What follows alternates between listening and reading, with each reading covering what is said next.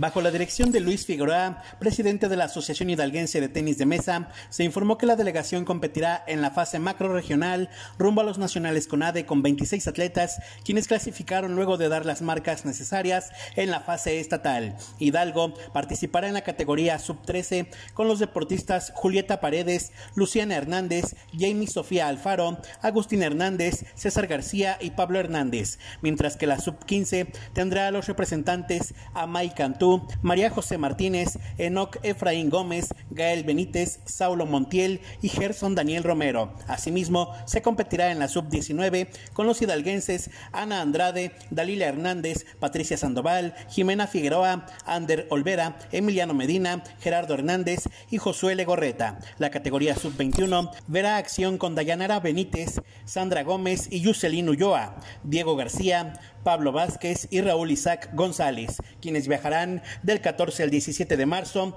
a su encuentro macroregional al estado de Yucatán. Oscar Recendis para Mezquital al Día.